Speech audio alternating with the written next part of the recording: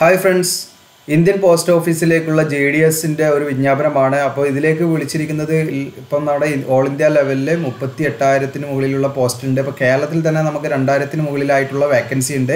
അപ്പോൾ ഇതിന്റെ അപേക്ഷ തുടങ്ങുന്നത് രണ്ട് അഞ്ച് രണ്ടായിരത്തി ഇരുപത്തിരണ്ട് മുതൽ അഞ്ച് ആറ് രണ്ടായിരത്തി ഇരുപത്തിരണ്ട് വരെ ഓൺലൈനായിട്ടാണ് നമ്മൾ അപേക്ഷ നൽകേണ്ടത്. അപ്പോൾ ഇതിലേക്ക് നമുക്ക് എസ് എസ് എൽ സി മാത്രമാണ് യോഗ്യത യാതൊരുവിധ എക്സ്പീരിയൻസോ കാര്യങ്ങളൊന്നും വേണ്ട. എസ് എസ് എൽ സി പാസ്സായവർക്ക് അപേക്ഷ നൽകാവുന്നതാണ്. അപ്പോൾ ഇതിന് യാതൊരുവിധ പരീക്ഷയോ കാര്യങ്ങളോ ഒന്നും തന്നെ ഇല്ല. എസ് എസ് എൽ സിയുടെ മാർക്കിന്റെ അടിസ്ഥാനത്തിലായിരിക്കും ഇതിന്റെ സെലക്ഷൻ എന്നുള്ളതാണ് ഇതിന്റെ മറ്റൊരു പ്രത്യേകത. അപ്പോൾ രണ്ടായിരത്തിന് മുകളിൽ വേക്കൻസി നമ്മുടെ കേരളത്തിൽ തന്നെയുണ്ട് എന്നുള്ളത് മറ്റൊരു കാര്യമാണ്. അപ്പോൾ ഇതിലേക്ക് നമ്മൾ എങ്ങനെയാണ് അപേക്ഷിക്കേണ്ടത്? എന്തൊക്കെയാണ് ഇതിന്റെ മറ്റു കാര്യങ്ങൾ തുടങ്ങിയിട്ടുള്ള ഡീറ്റെയിൽ ആയിട്ടുള്ള ഒരു വീഡിയോ ആണ് നമ്മൾ ചെയ്യുന്നത്. അപ്പോൾ ഇതിൽ നിങ്ങൾക്ക് വേണ്ട എ ടു സെറ്റ് ആയിട്ടുള്ള എല്ലാ കാര്യങ്ങളും നമ്മൾ ഉൾപ്പെടുത്തുന്നതാണ്. അപ്പോൾ ഇതിന്റെ ഒഫീഷ്യൽ ആയിട്ടുള്ള നോട്ടിഫിക്കേഷനിൽ നമുക്ക് നോക്കാം. അപ്പോൾ ഇതാണ് ഒഫീഷ്യൽ ആയിട്ടുള്ള നോട്ടിഫിക്കേഷൻ അപ്പോൾ ഗ്രാമീൺ ദക് സേവക് എന്ന് പറയുന്ന ജി ഡി എസ് എന്ന് പറയുന്ന പോസ്റ്റിലേക്കാണ് വിളിച്ചിരിക്കുന്നത്. അതിൽ തന്നെ ബ്രാഞ്ച് പോസ്റ്റ് മാസ്റ്റർ ഈ assistant branch postmaster Dak Sevak എന്ന് പറയുന്ന പോസ്റ്റുകളിലാണ് വിളിച്ചിരിക്കുന്നത്. അതിൽ മുപ്പത്തി എട്ടായിരത്തി തൊള്ളായിരത്തി ഇരുപത്തി ആറ് ഒഴിവുകളാണ് നിലവിൽ ഇപ്പം വേക്കൻസി ഉള്ളത്. ഇതിൽ കേരളത്തിൽ മാത്രമായിട്ട് രണ്ടായിരത്തിന് മുകളിൽ വേക്കൻസി ഉണ്ട് എന്നുള്ളതാണ് അപ്പോൾ ഓൺലൈനായിട്ടാണ് നമ്മൾ ഇതിന്റെ അപേക്ഷ സമർപ്പിക്കേണ്ടത്. അങ്ങനെ ഓൺലൈനായിട്ട് അപേക്ഷ സമർപ്പിക്കുന്നതിന്റെ ഡേറ്റ് ഇവിടെ പറയുന്നുണ്ട് രണ്ട് അഞ്ച് രണ്ടായിരത്തി ഇരുപത്തിരണ്ട് മുതൽ അഞ്ച് ആറ് രണ്ടായിരത്തി ഇരുപത്തിരണ്ട് വരെ എന്ന് പറയുന്നുണ്ട്. അതുപോലെ തന്നെ ഇതിന്റെ ഒരു സാലറി കാര്യങ്ങൾ കൂടെ പറയുന്നുണ്ട്. അതായത് ടൈം റിലേറ്റഡ് കണ്ടിന്യൂറ്റി അലവൻസ് എന്ന് പറയുന്ന ടി ആർ സി എയുടെ ബേസ് ചെയ്തിട്ടാണ് നമ്മളുടെ ആ ഒരു റെമിനറേഷൻ വരുന്നത്. അപ്പോൾ നാല് മണിക്കൂർ നമ്മൾ വർക്ക് ചെയ്ത് കഴിഞ്ഞാൽ നമുക്ക് പന്ത്രണ്ടായിരം അതായത് ബ്രാഞ്ച് പോസ്റ്റ് മാസ്റ്റർ ആണെങ്കിൽ നമുക്ക് പന്ത്രണ്ടായിരം ആണ് ലഭിക്കുന്നത്. അതുപോലെ അസിസ്റ്റന്റ് ബ്രാഞ്ച് പോസ്റ്റ് മാസ്റ്റർ അതുപോലെ ദക്സേവക് ആണെങ്കിൽ അവർക്ക് പതിനായിരം ആണ്. അപ്പോൾ ഇത് ഈ ഒരു സാലറി കണ്ടിട്ട് നിങ്ങൾ ജസ്റ്റ് അതിൽ വറീഡ് ആവേണ്ട. കാരണം നമുക്ക് ജസ്റ്റ് നാല് മണിക്കൂറിന്റെ ആ ഒരു ടൈമാണ് അതിൽ കൂടുതലായിട്ട് നമ്മൾ സമയം സ്പെൻഡ് ചെയ്യുകയാണെങ്കിൽ അതിനനുസരിച്ചുള്ള അലവൻസ് കൂടുകയും അതോടൊപ്പം തന്നെ ഈ പോസ്റ്റിൽ നിന്ന് മറ്റു പോസ്റ്റിലേക്ക് നമുക്ക് ഉയർന്ന പോസ്റ്റിലേക്ക് എത്താനൊക്കെയുള്ള സാധ്യതകളൊക്കെ ഉണ്ട്. അപ്പോൾ ഇത് നമുക്ക് സെൻട്രൽ ഗവൺമെന്റ് കീഴിലുള്ള ഒരു ജോലി തന്നെയാണ്. അപ്പോൾ ഇതിലേക്ക് നമ്മൾ എത്തിപ്പെടുക എന്നുള്ളതാണ്. ഇനി ഇതിന്റെ എലിജിബിലിറ്റി എന്തൊക്കെയാണെന്ന് നോക്കാം. ഒന്ന് പ്രധാനമായിട്ട് ഒന്ന് പറയുന്നത് ഏജ് ആണ്. ഏജ് എന്ന് പറയുന്നത് പതിനെട്ട് വയസ്സ് പൂർത്തിയായിരിക്കുകയും നാൽപ്പത് വയസ്സ് പൂർത്തിയാകാൻ പാടില്ല. അപ്പോൾ പതിനെട്ടിന്റെയും നാൽപ്പതിന്റെയും ഇടയിലുള്ളവർക്ക് ഈ ഒരു പോസ്റ്റിലേക്ക് അപേക്ഷിക്കാം. അതുപോലെ സാധാരണ ഗവൺമെന്റ് റൂൾ പ്രകാരമുള്ള S C S T candidates ആണെങ്കിൽ അവർക്ക് അഞ്ച് വർഷവും ഒ ബി സി ആണെങ്കിൽ അവർക്ക് മൂന്ന് വർഷവും ദെൻ ഇ ഡബ്ല്യു എസിന് യാതൊരുവിധ ഏജ് റിലാക്സേഷൻ ഉണ്ടായിരിക്കുന്നതല്ല. അതുപോലെ പി ഡബ്ല്യു ഡി കാൻഡിഡേറ്റ്സ് ആണെങ്കിൽ അവർക്ക് പത്ത് വർഷവും പി ഡബ്ല്യു ഡിയിൽ തന്നെ ഒ ബി സി കാൻഡിഡേറ്റ്സ് ആണെങ്കിൽ അവർക്ക് പതിമൂന്ന് വർഷവും പി ഡബ്ല്യു ഡിയിൽ തന്നെ എസ് സി എസ് ടി ആണെങ്കിൽ അവർക്ക് പതിനഞ്ച് വർഷവും ഏജ് റിലാക്സേഷൻ ഉണ്ടായിരിക്കും എന്ന് പറയുന്നുണ്ട്. ഇനി അതുപോലെ തന്നെ ഈ പറഞ്ഞിരിക്കുന്ന പോസ്റ്റിലേക്ക് ഏതൊക്കെ ഡിസബിലിറ്റിയാണ് സ്യൂട്ടബിൾ ആയിരിക്കുന്നതെന്ന് ഇവിടെ പറയുന്നുണ്ട്. അപ്പോൾ ഈ ഒരു വിഭാഗത്തിലുള്ളവർക്കെല്ലാം ഈ ഒരു പോസ്റ്റിലേക്ക് അപേക്ഷ നൽകാവുന്നതാണ്. ഇനി അടുത്ത എലിജിബിലിറ്റി എന്ന് പറയുന്നത് എഡ്യൂക്കേഷൻ ക്വാളിഫിക്കേഷൻ ആണ്. അപ്പം വെറും എസ് എസ് എൽ സി പാസ്സായിരിക്കും അതായത് പത്താം ക്ലാസ് പാസ്സായവർക്ക് ഇതിലേക്ക് അപേക്ഷ നൽകാം. നമുക്ക് മാത്തമാറ്റിക്സും ഇംഗ്ലീഷും പഠിച്ചിരിക്കണം എന്നാണ്. അപ്പോൾ നമ്മുടെ പത്താം ക്ലാസ്സിൽ നമ്മൾ മാത്തമാറ്റിക്സും ഇംഗ്ലീഷും എല്ലാം പഠിക്കുന്നുണ്ട്. അപ്പോൾ നിങ്ങൾക്ക് തീർച്ചയായിട്ടും ഇതിലേക്ക് അപേക്ഷ നൽകാം. അപ്പോൾ പത്താം ക്ലാസ് പാസ്സായിരിക്കണം എന്നുള്ളതാണ് ഇതിന്റെ അടിസ്ഥാനപരമായിട്ടുള്ള യോഗ്യത യാതൊരുവിധ എക്സ്പീരിയൻസോ കാര്യങ്ങളോ അതിന്റെ മുകളിലുള്ള യോഗ്യതയൊന്നും വേണ്ട. വെറും പത്താം ക്ലാസ്സും ഏജും നിങ്ങൾക്ക് ഈ ഒരു ഏജിന്റെ ഇടയിൽ പതിനെട്ടിന്റെയും നാൽപ്പതിന്റെയും ഇടയിലുള്ള ഏജ് ഉണ്ടെങ്കിൽ നിങ്ങൾക്ക് അപേക്ഷ നൽകാവുന്നതാണ്. ഇനി അടുത്തത് നമുക്ക് ലോക്കൽ ലാംഗ്വേജ് അറിഞ്ഞിരിക്കണം എന്ന് പറയുന്നുണ്ട്. അതായത് പത്താം ക്ലാസ് വരെയെങ്കിലും നമ്മൾ ആ ഒരു ലോക്കൽ ലാംഗ്വേജിൽ നമ്മൾ പഠിച്ചിരിക്കണം എന്ന് പറയുന്നുണ്ട്. അത് മലയാളത്തിൽ നമുക്ക് മലയാളം എടുത്തത് അല്ലെങ്കിൽ മലയാളം മീഡിയം എന്നുള്ള രീതിയിൽ നമ്മൾ പഠിച്ചിരിക്കണം എന്നുള്ള കാര്യങ്ങൾ പറയുന്നുണ്ട്. അതായത് നമുക്ക് അത് അടിസ്ഥാനപരമായിട്ട് പറഞ്ഞാൽ നമുക്ക് ലോക്കൽ ലാംഗ്വേജ് അറിഞ്ഞിരിക്കുക എന്നുള്ളതാണ്. അത് മലയാളം അറിഞ്ഞിരിക്കുന്നവർക്ക് ഈ പോസ്റ്റിലേക്ക് അപേക്ഷിക്കുക അപേക്ഷിക്കുക എന്നുള്ളതാണ്. ദെൻ പിന്നെ വരുന്നത് നോളജ് ഓഫ് സൈക്ലിംഗ് ആണ്. അപ്പോൾ സൈക്ലിംഗ് അറിഞ്ഞിരിക്കണം എന്ന് പറയുന്നുണ്ട്. ഇപ്പോൾ നിങ്ങൾക്ക് സ്കൂട്ടർ കാര്യങ്ങളൊക്കെ മോട്ടോർ സൈക്കിളൊക്കെ ഓടിക്കാൻ അറിയെങ്കിൽ അതെന്താണ് സൈക്ലിംഗ് അറിയും എന്നുള്ളതിന് കണക്കാക്കുന്നതാണ്. അപ്പോൾ നിലവിൽ സൈക്ലിംഗ് അറിയാത്തവരുണ്ടെങ്കിൽ അതൊന്ന് ജസ്റ്റ് നമുക്ക് ഈ പോസ്റ്റിലേക്ക് നമുക്ക് അപേക്ഷിച്ചതിന് ശേഷം നമുക്കത് പ്രാക്ടീസ് ചെയ്യാവുന്നതാണ്. ഇനി അടുത്തത് method of submission of application and fee ആണ്. അപ്പോൾ എങ്ങനെയാണ് നമ്മൾ അപേക്ഷിക്കേണ്ടത്? അതോടെ നമ്മളെ ഫീയുമാണ് അപേക്ഷാ ഫീസുമാണ് അപ്പോൾ ഇതിൽ നൂറ് രൂപ നമുക്ക് അപേക്ഷാ ഫീസ് ഉണ്ട്. അപ്പോൾ ഓൺലൈനായിട്ടാണ് നമ്മൾ അപേക്ഷിക്കേണ്ടത്. അപ്പോൾ നിങ്ങൾക്ക് അപേക്ഷിക്കേണ്ടതിന്റെ എല്ലാ ലിങ്ക് എല്ലാം നമ്മുടെ ഡിസ്ക്രിപ്ഷനിൽ ഉണ്ടായിരിക്കും. അതോടൊപ്പം തന്നെ നമ്മൾ എങ്ങനെയാണ് അത് അപേക്ഷിക്കേണ്ടത്? അതായത് നമ്മൾ അപേക്ഷിക്കുന്നതിന്റെ ഒരു ഡെമോ വീഡിയോ ജസ്റ്റ് നിങ്ങൾ ഈ ലിങ്കിൽ കയറിയിട്ട് ഡെമോ എന്ന് കാണിക്കുന്നതാണ്. അതോടൊപ്പം നമ്മൾ ഡീറ്റെയിൽ ആയിട്ടുള്ള വീഡിയോ നമ്മൾ രണ്ട് ദിവസത്തിന് ശേഷം നമ്മൾ നമ്മുടെ ചാനലിൽ അപ്ലോഡ് ചെയ്യുന്നതാണ്. അപ്പോൾ നിങ്ങൾക്ക് അത് ആവശ്യമുണ്ടെങ്കിൽ അതായത് ഇപ്പോൾ നിങ്ങളുടെ ആവശ്യത്തിനനുസരിച്ചാണ് നമ്മളത് ചെയ്യുന്നത്. അപ്പോൾ നിങ്ങൾക്കത് ആവശ്യമുണ്ടെങ്കിൽ നിങ്ങൾ എന്ത് ചെയ്യുക? കമന്റ് ചെയ്യുക ലൈക്ക് ചെയ്യുക. അപ്പോൾ അങ്ങനെ ചെയ്യുന്ന സമയത്ത് നമുക്കത് മനസ്സിലാവും. അപ്പോൾ നമ്മൾ വെറുതെ ചെയ്യുന്നില്ല. അപ്പോൾ നിങ്ങൾക്ക് അപ്പോൾ ആ ഒരു ഓൺലൈൻ അപേക്ഷയുടെ ആ ഒരു സ്റ്റെപ്പ് ബൈ സ്റ്റെപ്പായിട്ട് നമ്മൾ കറക്റ്റായിട്ട് നമ്മൾ എന്ത് ചെയ്യും ആ കംപ്ലീറ്റ് ആയിട്ടുള്ള രജിസ്ട്രേഷൻ വീഡിയോ നമ്മൾ ഓൺലൈൻ അപേക്ഷയുടെ രജിസ്ട്രേഷൻ വീഡിയോ നമ്മൾ ചെയ്യാവുന്നതാണ്. അപ്പോൾ അതിന് നിങ്ങൾ കമന്റിൽ നിങ്ങൾ കമന്റ് ചെയ്യുക അതുപോലെ ലൈക്ക് ചെയ്യുക ഒക്കെ ചെയ്യുക. അപ്പോൾ അത് കണ്ടു കഴിഞ്ഞാൽ നമ്മൾ കൂടുതൽ ആളുകൾ ആവശ്യപ്പെടുകയാണെങ്കിൽ നമ്മളത് രണ്ട് ദിവസത്തിനുള്ളിൽ തന്നെ ചെയ്യാവുന്നതാണ്. അപ്പോൾ ഇതിൽ ഈ ഈ ഒരു വീഡിയോയുടെ അവസാനം എനിക്ക് ജസ്റ്റ് ഇതിന്റെ ലിങ്കിൽ കയറിയിട്ട് എങ്ങനെയാണെന്ന് അതിന്റെ ഡെമോ ജസ്റ്റ് ഒന്ന് കാണിക്കാവുന്നതാണ്. അപ്പോൾ നമുക്ക് നൂറ് രൂപ അപേക്ഷാ ഫീസ് ഉണ്ട്. വനിതകൾക്കും എസ് സി എസ് ടി അതുപോലെ പി ഡബ്ല്യു ഡി അതുപോലെ ട്രാൻസ് വിമൻ കാൻഡിഡേറ്റ്സിനൊന്നും ഇതില്ല ഈ യാതൊരുവിധ ഫീസും ഇല്ല. മറ്റുള്ള എല്ലാ വിഭാഗക്കാർക്കും നൂറ് രൂപ ഫീസ് ഉണ്ട് എന്നുള്ളതാണ്. അത് നമ്മൾ credit card debit card net banking ഒക്കെ ഉപയോഗിച്ച് നമുക്ക് അടയ്ക്കാവുന്നതാണ്. ഈ ഹൗ ടു അപ്ലൈ ആണ്. അപ്പോൾ നമ്മൾ ഈ ഒരു ലിങ്ക് വഴിയാണ് നമ്മൾ ഇതിൽ രജിസ്റ്റർ ചെയ്യേണ്ടത്. അപ്പോൾ ഞാൻ അത് ലിങ്കിൽ എങ്ങനെ കയറുന്നതെന്ന് വീഡിയോയുടെ അവസാനം ജസ്റ്റ് ഒന്ന് കാണിക്കാം. അപ്പോൾ അത് കാണിച്ചു കഴിഞ്ഞാൽ നമുക്കൊരു അപേക്ഷ ഒരു രജിസ്ട്രേഷൻ ഫോം ഉണ്ട്. ആ ഫോമിലുള്ള കാര്യങ്ങളാണ്. അപ്പോൾ നമ്മുടെ പേര് father's name mobile number email I D ഇതൊക്കെ നമ്മൾ അതിൽ രജിസ്റ്റർ ചെയ്യണം. അപ്പോൾ അങ്ങനെയുള്ള കാര്യങ്ങളാണ്. അതുപോലെ നമ്മൾ ആ ഒരു രജിസ്ട്രേഷന്റെ സമയത്ത് നമ്മുടെ സ്കാൻഡ് പാസ്പോർട്ട് സൈസ് ഫോട്ടോഗ്രാഫും സ്കാൻഡ് സിഗ്നേച്ചറും വേണം. അപ്പോൾ നമ്മൾ രജിസ്റ്റർ ചെയ്യുന്നതിന് മുൻപ് നമ്മൾ ഇത് തയ്യാറാക്കി വെക്കണം എന്നുള്ളതാണ്. ഇനി വരുന്നത് ഡിവിഷൻ സെലക്ട് ചെയ്യുന്ന കാര്യങ്ങളാണ്. അപ്പം നമ്മൾ ഓൺലൈൻ രജിസ്ട്രേഷൻ സമയത്ത് നമ്മൾ ഡിവിഷൻ സെലക്ട് ചെയ്യണം. അപ്പോൾ ഏതെങ്കിലും ഒരു ഡിവിഷനാണ് നമ്മൾ സെലക്ട് ചെയ്യേണ്ടത്. ദെൻ ആ ഡിവിഷനിൽ വരുന്ന വിവിധ ഓഫീസുകളിലേക്കായിട്ടാണ് നമ്മൾ സെലക്ട് ചെയ്യേണ്ടത്. അപ്പോൾ നമ്മൾ ഡിവിഷൻ സെലക്ട് കഴിഞ്ഞാൽ നമ്മൾ അതിനനുസരിച്ച് പ്രിഫറൻസ് കൊടുക്കണം. അപ്പോൾ നമ്മൾ എവിടേക്കാണ് നമ്മൾ ഏത് ഏരിയ ആണ് നമ്മൾ പ്രിഫർ ചെയ്യുന്നതെന്ന് അപ്പോൾ നമ്മൾ ആ ഒരു നമ്പർ കൊടുക്കണം. അതിൽ അപ്പോൾ അത് ഓൺലൈൻ ഫോമിൽ നിങ്ങൾക്ക് കണ്ടാൽ തന്നെ മനസ്സിലാവും. അപ്പോൾ നമ്മൾ കൊടുക്കുന്ന പ്രിഫറൻസ് അതായത് ഇപ്പോൾ നമ്മളൊരു അഞ്ച് പോസ്റ്റിലേക്കാണ് നമ്മൾ അപേക്ഷിക്കുന്നതെങ്കിൽ നിങ്ങൾക്ക് ഇവിടെ കാണാം. Post one post two post three post four post five എന്നാണ് നമ്മൾ ആ പ്രിഫറൻസിൽ കൊടുക്കേണ്ടത്. അപ്പോൾ നമുക്ക് അവിടെ ഒരു കോളം വരും. അതിൽ നമ്മൾ ഒന്ന് രണ്ട് മൂന്ന് നമ്മൾ ഏതിനാണ് ഏതൊക്കെ ആ, ഒരു പോസ്റ്റാണ് നമ്മൾ കൊടുക്കുന്നത് വെച്ചാൽ അതിൽ നമ്പർ ഇട്ട് കൊടുത്താൽ മതി. അപ്പോൾ നിങ്ങൾക്ക് അത് ആ ഫോമിൽ കാണുമ്പോൾ തന്നെ മനസ്സിലാവും. അപ്പം നമ്മൾ ഒന്ന് നമ്പർ കൊടുത്താൽ അതിനായിരിക്കും ആ ഒരു പോസ്റ്റിലായിരിക്കും നമ്മൾ ആദ്യം പോസ്റ്റിംഗ് നടക്കുക. അപ്പോൾ നമ്മൾ അതിലേക്കായിരിക്കും അവർ സെലക്ട് ചെയ്യുക. അപ്പോൾ നമ്മൾ അഞ്ച് എന്ന് എടുക്കുന്നത് എന്താണ്? നമുക്ക് ഏറ്റവും അവസാനത്തെ സാധ്യതയാണ്. അപ്പോൾ നമ്മൾ ഒന്ന് രണ്ട് മൂന്നൊന്നും കിട്ടിയില്ല. നമ്മൾ അഞ്ചിലേക്കായിരിക്കും സെലക്ട് ചെയ്യുക. അപ്പോൾ നമുക്ക് ഏറ്റവും നമ്മുടെ സമീപത്തുള്ള ആ ഒരു ഏരിയയിലേക്ക് നമ്മൾ കൊടുക്കുക. അല്ലെങ്കിൽ നമ്മുടെ വേക്കൻസി നോക്കിയിട്ട് അതിനനുസരിച്ചിട്ട് കൊടുക്കുക. അപ്പോൾ അതിന്റെ ആ ഒരു വേക്കൻസി കാര്യങ്ങളൊക്കെ നിങ്ങൾക്ക് ഇവിടെ വന്നു കഴിഞ്ഞാൽ ഇപ്പം ഞാൻ അത് കാണിക്കാം. ഇപ്പം നിങ്ങൾക്ക് ഇവിടെ കാണാം. ഇവിടെ കേരള സർക്കിൾ എന്ന് കാണാം. അപ്പോൾ കേരള സർക്കിളിൽ വരുന്ന ആ ഒരു ഡിവിഷൻസ് ആണ് ഇത്രയും ഡിവിഷൻസ് ഉണ്ട്. അപ്പോൾ ഇതിൽ നിങ്ങളുടെ വീട് അല്ലെങ്കിൽ റെസിഡൻഷ്യൽ ഏരിയ എവിടെയാണോ അതിനനുസരിച്ച് നമ്മളത് സെലക്ട് ചെയ്യുക. അല്ലെങ്കിൽ അതിന് നമ്മൾ താമസിക്കുന്ന സ്ഥലവുമായി ബന്ധപ്പെട്ടൊക്കെ നമുക്ക് സെലക്ട് ചെയ്യാം. അപ്പോൾ നമ്മളിപ്പോൾ ഇപ്പോൾ ഫോർ എക്സാമ്പിൾ കാലിക്കറ്റ് സെലക്ട് ചെയ്യുകയാണെങ്കിൽ നിങ്ങൾക്ക് വ്യൂ പോസ്റ്റ് എന്ന് കാണാം. അപ്പോൾ ഇവിടെ പോസ്റ്റ് നിങ്ങൾക്ക് കാണാം. അതായത് കാലിക്കറ്റിലുള്ള ഓഫീസ് നെയിമുകൾ ഇവിടെ കാണാം. അപ്പോൾ ബേപ്പൂർ അങ്ങനെ ഇത്രയും ഇതിൽ എവിടെ വേണമെങ്കിലും നമുക്ക് കൊടുക്കാം.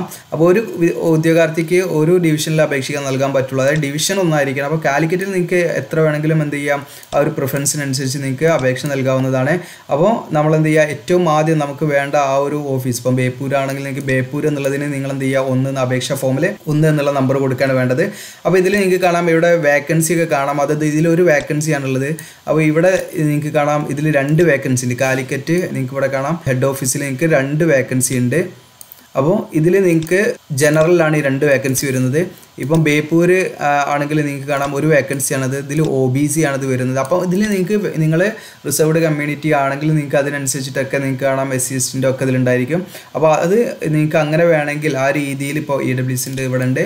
അപ്പോൾ അങ്ങനെ ആ രീതിയിൽ നിങ്ങൾക്ക് എന്ത് ചെയ്യാം? അത് നോക്കിയിട്ട് ആ ഒരു സാധ്യതയൊക്കെ നോക്കിയിട്ട് നിങ്ങൾക്ക് എന്ത് ചെയ്യാം? അപേക്ഷിക്കുന്നതായിരിക്കും കുറച്ചും പാടെ ബെറ്റർ അപ്പോൾ നമുക്ക് ഓൺലൈൻ അപേക്ഷ സമർപ്പിക്കുന്ന സമയത്ത് നമുക്ക് കൂടുതലൊരു നമ്മുടെ റിസർവേഷൻ വൈസിലൊക്കെ നമുക്ക് കിട്ടണമെങ്കിൽ ആ ഒരു റിസർവേഷൻ വൈസിൽ റിസർവ്ഡ് ആയിട്ടുള്ള പോസ്റ്റ് എവിടെയാണെന്ന് നോക്കിയിട്ട് നമ്മൾ പ്രിഫറൻസ് കൊടുക്കുന്നതായിരിക്കും നല്ലത്. അപ്പോൾ അത് മനസ്സിലായിട്ടുണ്ടാവുമായിരിക്കും. അപ്പോൾ ഇത് ഇത് നമ്മൾ ഞാൻ പറഞ്ഞു നിങ്ങൾ കമന്റ് ചെയ്യുകയാണെങ്കിൽ കമന്റ് ബോക്സിൽ നിങ്ങൾ കമന്റ് ചെയ്യുകയാണെങ്കിൽ ലൈക്ക് ചെയ്യുകയാണെങ്കിൽ നമ്മുടെ ഡീറ്റെയിൽ ആയിട്ട് എങ്ങനെയാണ് ഇത് കൊടുക്കേണ്ടത് അതിന്റെ ഒരു ഡെമോ വീഡിയോ നമ്മൾ അപേക്ഷിക്കുന്നതിന്റെ ഡെമോ വീഡിയോ ചെയ്യാവുന്നതാണ് പൂർണമായിട്ടുള്ളത് ചെയ്യാവുന്നതാണ്. ഇനി നമ്മൾ പറഞ്ഞ ഫീ പേയ്മെന്റ് പ്രൊസീജിയർ പറഞ്ഞു അതിൽ തന്നെ U P I net banking debit card ഒക്കെ ഉപയോഗിച്ച് നമുക്ക് ചെയ്യാവുന്നതാണ്. ഇനി എന്തൊക്കെ ഡോക്യുമെന്റ്സ് ആണ് നമ്മൾ അപ്ലോഡ് ചെയ്യേണ്ടതെന്ന് ഇവിടെ നോക്കാം. അപ്പോൾ നമുക്ക് ആകെ പോ- ആകെ രണ്ട് ഡോക്യുമെന്റ്സ് ഇതിൽ അപ്ലോഡ് ചെയ്യാനുള്ളൂ. യാതൊരു മറ്റു വിധ ഡോക്യുമെന്റ്സ് ഒന്നും ഇതിൽ ഇപ്പോൾ നമ്മൾ അപ്ലോഡ് ചെയ്യേണ്ടതില്ല. അപ്പോൾ നമ്മുടെ ഒരു ഫോട്ടോഗ്രാഫ് അപ്ലോഡ് ചെയ്യണം. അതുപോലെ തന്നെ സിഗ്നേച്ചറും അപ്ലോഡ് ചെയ്യണം. അപ്പോൾ അത് അപ്ലോഡിന്റെ ആ ഒരു ഫയൽ ഫോമാറ്റ് ഇവിടെ പറയുന്നുണ്ട്. ജെ പി ജി ഫോർമാറ്റ് ആയിരിക്കണം എന്ന് പറയുന്നുണ്ട്. ഈ ഫോട്ടോഗ്രാഫ് ആണെങ്കിൽ അൻപത് കെ വിയുടെ മുകളിൽ പോകാൻ പാടില്ല. അതുപോലെ നമ്മുടെ സിഗ്നേച്ചർ ആണെങ്കിൽ ഇരുപത് കെ വിന്റെ മുകളിലേക്കും പോകാൻ പാടില്ല. ഇത് രണ്ടും വളരെ നിർബന്ധമാണ്. അപ്പോൾ ഇത് നമ്മൾ അപേക്ഷയിൽ ചെയ്തിട്ടില്ലെങ്കിൽ നമ്മളുടെ അപേക്ഷ പൂർത്തിയാകുന്നതല്ല. അപ്പോൾ നമ്മൾ ഓൺലൈൻ രജിസ്ട്രേഷന്റെ മുൻപായിട്ട് നമ്മൾ ചെയ്തു വെക്കേണ്ടത് ഈ ഒരു സൈസിൽ അതായത് ജെ പി ജി ഫോമാറ്റിൽ നമ്മൾ എന്ത് ചെയ്യുക ലെസ് ദാൻ ഫിഫ്റ്റി കെ ബിയിൽ നമ്മൾ എന്ത് ചെയ്യുക ആ ഒരു ഫയൽ സെറ്റാക്കി വെക്കുക. ഈ ഫോട്ടോഗ്രാഫ് അതുപോലെ സിഗ്നേച്ചർ ഇരുപത് കെ വിന്റെ താഴെയായിട്ട് നമ്മൾ എന്ത് ചെയ്യുക? സെറ്റാക്കി വെക്കുക. എന്നതിന് ശേഷം നമ്മൾ രജിസ്ട്രേഷന് തുടങ്ങുക എന്നുള്ളതാണ്. പിന്നെ നമുക്ക് പത്താം ക്ലാസ്സിലെ മാർക്ക് നമ്മൾ അതിൽ ഡീറ്റെയിൽ നമ്മൾ എൻട്രി ചെയ്യേണ്ടതായിട്ടുണ്ട്. ഇനി അടുത്തത് ജോബ് പ്രൊഫൈലാണ് അപ്പോൾ ജോബ് പ്രൊഫൈൽ നിങ്ങൾക്ക് കാണാം. Brand postmaster B P M ഇപ്പോൾ ഈ ഒരു പോസ്റ്റിലേക്ക് എന്തൊക്കെ ജോലികളാണ് അല്ലെങ്കിൽ എന്തൊക്കെ ആയിരിക്കും നമ്മുടെ ആ ഒരു ഡ്യൂട്ടി കാര്യങ്ങളൊക്കെ ഇവിടെ പറയുന്നുണ്ട്. അപ്പോൾ ആ ഒരു പോസ്റ്റ് മാസ്റ്റർ എന്ന് പറയുന്നത് അതായത് ബ്രാഞ്ച് പോസ്റ്റ് മാസ്റ്റർ എന്ന് പറയുന്ന ആ ഒരു പോസ്റ്റിലേക്ക് ജോയിൻ ചെയ്യുകയാണെങ്കിൽ നമ്മൾ എന്തൊക്കെ കാര്യങ്ങൾ ചെയ്യേണ്ടി വരും എന്നുള്ള കാര്യങ്ങൾ കൂടെ പറയുന്നുണ്ട്. ഇതൊക്കെ നിങ്ങൾക്ക് ജസ്റ്റ് ഒന്ന് വായിച്ച് നോക്കാവുന്നതാണ്. അതുപോലെ അസിസ്റ്റന്റ് ബ്രാഞ്ച് പോസ്റ്റ് മാസ്റ്റർ ആണെങ്കിൽ അവർക്കുള്ള ആ ഒരു ഡ്യൂട്ടി കാര്യങ്ങളൊക്കെ കൂടെ പറയുന്നുണ്ട്. ദക്ഷാവക ആണെങ്കിൽ അവർക്കുള്ള കാര്യങ്ങൾ പറയുന്നുണ്ട്. ഇതൊക്കെ ജസ്റ്റ് നിങ്ങൾക്ക് നോക്കാവുന്നതാണ്. ഇനി ഇവിടെ സെലക്ഷൻ ക്രൈറ്റീരിയ ആണ്. അപ്പോൾ എങ്ങനെയാണ് ഇതിന്റെ സെലക്ഷൻ നടക്കുന്നത് വെച്ചാൽ സിസ്റ്റം ജനറേറ്റഡ് ആയിട്ടുള്ള മെറിറ്റ് ലിസ്റ്റ് ആണ്. അപ്പോൾ ഇത് മാനുവലി അല്ല ഇത് ഓട്ടോമാറ്റിക് ആയിട്ട് നമ്മുടെ കമ്പ്യൂട്ടർ സിസ്റ്റം ജനറേറ്റ് ചെയ്യുന്ന മെറിറ്റ് ലിസ്റ്റിന്റെ അടിസ്ഥാനത്തിലായിരിക്കും ഈ റിക്രൂട്ട്മെന്റ് നടക്കുക. നമ്മുടെ പ്രിഫറൻസിനനുസരിച്ചായിരിക്കും നമുക്ക് ഈ ഒരു ലിസ്റ്റിൽ മെറിറ്റ് ലിസ്റ്റിൽ നമ്മൾ ഉൾപ്പെടുന്നത്. അപ്പോൾ ഇതിന്റെ അടി അടിസ്ഥാനത്തിൽ മെറിറ്റ് ലിസ്റ്റ് തയ്യാറാക്കി കഴിഞ്ഞാൽ നമ്മൾ ഡോക്യുമെന്റ് വെരിഫിക്കേഷൻ വിളിക്കുക എന്നുള്ളതാണ്. അതുപോലെ നമ്മുടെ ഡോക്യുമെന്റ് വെരിഫിക്കേഷന്റെ സമയത്ത് നമ്മൾ എന്ത് ചെയ്യണം? നമ്മൾ ഒറിജിനൽ ഡോക്യുമെന്റ്സ് ഒക്കെ നമ്മൾ എന്ത് ചെയ്യണം? കൊണ്ടുപോകണം. അതോടൊപ്പം തന്നെ അതിന്റെ ഒരു ഒരു സെറ്റ് ഫോട്ടോ കോപ്പി അതായത് നമ്മൾ കൊണ്ടുപോകുന്ന ഡോക്യുമെന്റ്സിന്റെ ഒരു സെറ്റ് ഫോട്ടോ കോപ്പി നമ്മൾ കയ്യിൽ വെച്ചിരിക്കണം എന്നാണ്. പറയുന്നത്. അപ്പം നമ്മൾ സെലക്ട് ആയി കഴിഞ്ഞാൽ പ്രൊഫഷണൽ ആയിട്ടുള്ള എൻഗേജ്മെന്റ് ലെറ്റർ നമുക്ക് ഇമെയിൽ ആയിട്ടും നമുക്ക് നോട്ടിഫിക്കേഷൻ എസ് എം എസ് ആയിട്ടൊക്കെ നമ്മളെ ഓർമ്മപ്പെടുത്തും അപ്പോൾ അത് നമ്മൾ റിപ്പോർട്ട് ചെയ്തിട്ടില്ലെങ്കിൽ വീണ്ടും നമുക്ക് എന്താണ് ഇമെയിൽ ആയിട്ടോ അതുപോലെ എസ് എം എസ് ആയിട്ടോ അതുപോലെ രജിസ്റ്റേർഡ് പോസ്റ്റ് ഒക്കെ ആയിട്ട് നമ്മൾ ഓർമ്മപ്പെടുത്തും എന്നിട്ട് നമ്മൾ റിപ്പോർട്ട് ചെയ്തില്ലെങ്കിൽ നമ്മുടെ ആ ഒരു പോസ്റ്റ് ക്യാൻസൽ ചെയ്യും എന്ന് പറയുന്നുണ്ട്. അപ്പോൾ ഇതൊക്കെ നമ്മൾ ശ്രദ്ധിക്കണം. നമ്മൾ ആ ഒരു സമയത്ത് തന്നെ റിപ്പോർട്ട് ചെയ്യണം എന്നുള്ളതാണ്. അതോടൊപ്പം തന്നെ നമുക്ക് ഇപ്പം പത്താം ക്ലാസ് കഴിഞ്ഞ് മറ്റു ഉയർന്ന യോഗ്യതകളൊക്കെ ഇപ്പം പ്ലസ് ടുവോ ഡിഗ്രിയോ ഒക്കെ ഉണ്ടെങ്കിൽ നിങ്ങൾക്ക് യാതൊരുവിധ വെയിറ്റേജും ഇവിടെ ലഭിക്കില്ല. അപ്പോൾ വെറും പത്താം ക്ലാസ്സിനെ അടിസ്ഥാനമാക്കി മാത്രമാണ്. അപ്പോൾ പത്താം ക്ലാസ് കഴിഞ്ഞ് എന്ന് വെച്ച് നമുക്ക് ഉയർന്ന യോഗ്യത ഉണ്ട് എന്ന് വിചാരിച്ച് നമുക്ക് ഈ ഒരു സെലക്ഷനിൽ യാതൊരുവിധ വെയിറ്റേജോ കാര്യങ്ങളോ ഒന്നും തന്നെ ഇല്ല എന്ന് പറയുന്നുണ്ട്.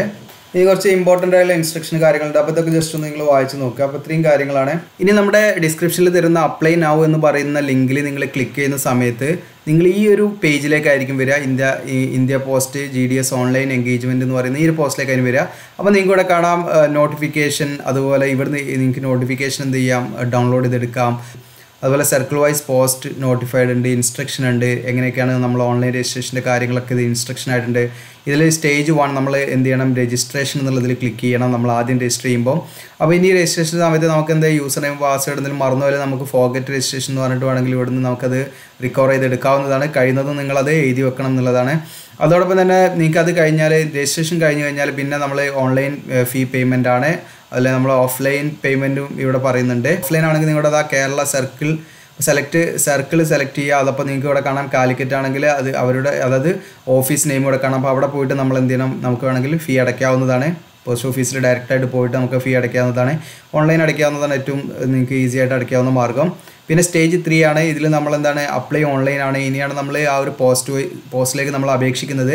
അപ്പോൾ സ്റ്റേജ് വണ്ണിൽ എന്ന് പറയുന്നത് ജസ്റ്റ് നമ്മൾ ഇന്ത്യൻ പോസ്റ്റ് ഓഫീസിന്റെ ഈ ഒരു വെബ്സൈറ്റിലുള്ള രജിസ്ട്രേഷൻ ആണ്. അതായത് നമ്മുടെ മൊബൈൽ നമ്പറും ഇമെയിലും വെച്ച് നമ്മളൊരു പാസ്വേഡും യൂസർ നെയിമും ക്രിയേറ്റ് ചെയ്യലാണ്. അതോടൊപ്പം നമ്മുടെ ഫോട്ടോഗ്രാഫും സിഗ്നേച്ചറും ഒക്കെ അപ്ലോഡ് ചെയ്യേണ്ടത് ഈ രജിസ്ട്രേഷൻ എന്ന് പറയുന്ന സ്റ്റേജ് വണ്ണിലാണ് സ്റ്റേജ് ടൂവിലാണ് നമ്മൾ എന്താണ് ഡിവിഷൻ അതുപോലെ നമ്മൾ പ്രിഫറൻസ് കാര്യങ്ങളൊക്കെ നമ്മൾ ചെയ്യുന്നത് സ്റ്റേജ് ത്രീയിലാണ് അപ്പോൾ ഇത്രയും കാര്യങ്ങളാണ്. ഇത് അത് അപേക്ഷിച്ചതിന് ശേഷം നമ്മൾ അപ്ലിക്കേഷൻ സ്റ്റാറ്റസ് നമുക്ക് കാണാൻ പറ്റും. അപ്പോൾ ഈ ഒരു പേജിൽ നിങ്ങൾക്ക് വേണ്ട എല്ലാ കാര്യങ്ങളും ഉണ്ട്. അപ്പോൾ ഇതിൽ നോട്ടിഫി നിങ്ങൾക്ക് ഈ ലെഫ്റ്റ് സൈഡിൽ നിങ്ങൾക്ക് അതുപോലെ തന്നെ കാണാം. അതിന്റെ ഇപ്പോൾ നമ്മൾ റിസൾട്ടൊക്കെ വന്നാൽ നമുക്ക് ഇവിടുന്ന് ചെക്ക് ചെയ്യാവുന്നതാണ്. അതുപോലെ ഹെൽപ്പ് ഡെസ്ക് ഉണ്ട്. അപ്പോൾ നിങ്ങൾക്ക് വേണ്ട മറ്റു എല്ലാ കാര്യങ്ങളുണ്ട് നിങ്ങൾക്ക് ഫ്രീക്വൻലി ആസ്ക്ഡ് ക്വസ്റ്റ്യൻസ് ഉണ്ട്. അപ്പോൾ ഇതിൽ നിങ്ങൾക്ക് ജസ്റ്റ് ക്ലിക്ക് ചെയ്താൽ നിങ്ങൾക്കുള്ള ഡൗട്ടുമായിട്ടുള്ള ബന്ധപ്പെട്ട ക്വസ്റ്റ്യൻസിന്റെ ആൻസർ കാര്യങ്ങളൊക്കെ അവർ കൊടുത്തിട്ടുണ്ട്. അപ്പോൾ അത് അത് നിങ്ങൾക്ക് ചെക്ക് ചെയ്യാവുന്നതാണ്. അപ്പോൾ ഇത്രയും കാര്യങ്ങളാണ്. അപ്പോൾ നിങ്ങൾ അപേക്ഷിക്കുന്നതിന് മുൻപ് ആ പ്രിഫറൻസ് കൊടുക്കുന്നതനുസരിച്ച് ഇവിടെ നോക്കാം. ഏതൊക്കെ പോസ്റ്റ് എത്ര ഒഴിവുകളുണ്ട്? ഓരോരോ ഓരോരോ ഓഫീസുകളിൽ എത്ര ഒഴിവുകളുണ്ട്? അത് ആർക്കൊക്കെ റിസർവ്ഡ് ആണെന്നുള്ള കാര്യങ്ങളൊക്കെ നോക്കിയിട്ട് നിങ്ങൾ ജസ്റ്റ് എന്ത് ചെയ്യുക ആ ഒരു പ്രിഫറൻസ് കൊടുക്കുക. നമ്മുടെ സമീപത്തുള്ള പ്രദേശം അതിനൊക്കെ അനുസരിച്ച് പ്രിഫറൻസ് കൊടുക്കുക. അവിടെ സർക്കിൾ വൈസ് പോസ്റ്റ് നോട്ടിഫൈഡ് എന്ന് പറഞ്ഞിട്ട് ഇവിടെ ക്ലിക്ക് ചെയ്ത് കഴിഞ്ഞാൽ നിങ്ങൾക്ക് കാണാം. ഇപ്പോൾ കേരളത്തിന്റെ ഇപ്പം നമ്മളിവിടെ രണ്ട് എന്ന് കൊടുക്കുക. പേജ് രണ്ടിലേക്ക് നമ്മൾ മാറ്റുമ്പോൾ ഇവിടെ കാണാം കേരളം. പതിനഞ്ചാമത്തെ സീരിയൽ നമ്പർ പതിനഞ്ചാം കേരളത്തിലേക്ക് കാണാം. ജനറൽ കാൻഡിഡേറ്റ്സിന് ആയിരത്തി ഇരുന്നൂറ്റി ഇരുപത് ഒഴിവ് ഇ ഡബ്ല്യുസിന് ഇരുന്നൂറ്റി നാൽപ്പത്തി ആറ് ഒ ബി സിക്ക് നാനൂറ്റി അറുപത്തിരണ്ട് ഒഴിവ് എസ് സിക്ക് നൂറ്റി എഴുപത്തൊമ്പത് എസ് ടിക്ക് മുപ്പത്തി രണ്ട് പിന്നെ വരുന്ന പി ഡബ്ല്യു ഡി കാൻഡിഡേറ്റ്സിനുള്ള ഒഴിവുകളുണ്ട്. അങ്ങനെ ടോട്ടൽ രണ്ടായിരത്തി ഇരുന്നൂറ്റി മൂന്ന് ഒഴിവുകളാണ് വന്നിരിക്കുന്നത്. അപ്പോൾ ഇങ്ങനെ നിങ്ങൾക്ക് വേണ്ട എല്ലാ കാര്യങ്ങളും നമ്മൾ ഈ ഒരു ഇതിൽ നിന്ന് നമുക്ക് കിട്ടുന്നതാണ്. അപ്പോൾ ഈ ഒരു പേജിൽ വന്നിട്ട് നിങ്ങൾക്ക് സെലക്ട് ഈ ഒരു ഡിവിഷൻ നിങ്ങൾ സെലക്ട് ചെയ്തിട്ട് നിങ്ങൾക്ക് എത്ര വേക്കൻസി കാര്യങ്ങളൊക്കെ ഉണ്ട് എന്നുള്ളതൊക്കെ നോക്കി വെക്കുക. എന്നതിന് ശേഷം അപേക്ഷിക്കുന്നതായിരിക്കും ഉത്തമം. അപ്പോൾ നമ്മൾ സ്റ്റേജ് വണ്ണിൽ ഇപ്പോൾ രജിസ്ട്രേഷൻ ക്ലിക്ക് ചെയ്യുകയാണെങ്കിൽ ഇവിടെയും കാണാം ഒരു ഫോം വന്നിട്ടുണ്ട്. മൊബൈൽ നമ്പർ അതുപോലെ നമ്മൾ ഈ ഒരു മെയിൽ ഇതൊക്കെ നമ്മൾ വാലിഡേറ്റ് ചെയ്യണം. അപ്പോൾ നമ്മൾ ഒ ടി പി വരും. അതിന് അത് നമ്മൾ രജിസ്റ്റർ ചെയ്യണം. അപ്പോൾ അതുപോലെ നമ്മുടെ പേര് കാര്യങ്ങൾ ഇതൊക്കെ സെലക്ട് ചെയ്യുക.